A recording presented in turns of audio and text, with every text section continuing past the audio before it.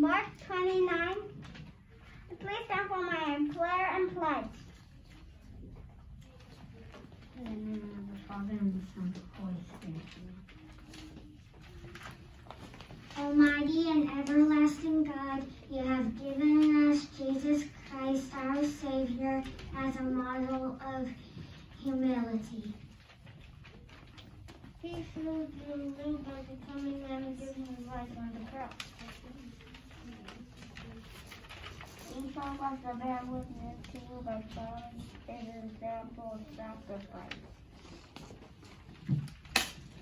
And make us worthy to share in his resurrection.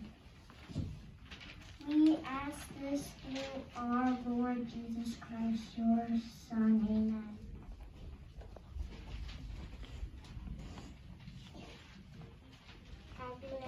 allegiance to the of the United States of America and to the republic for which it stands, one nation, under God, indivisible, with liberty and justice for all.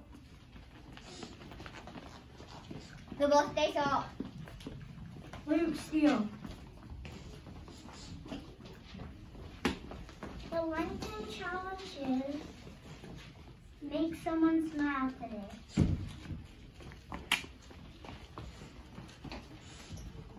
Pam!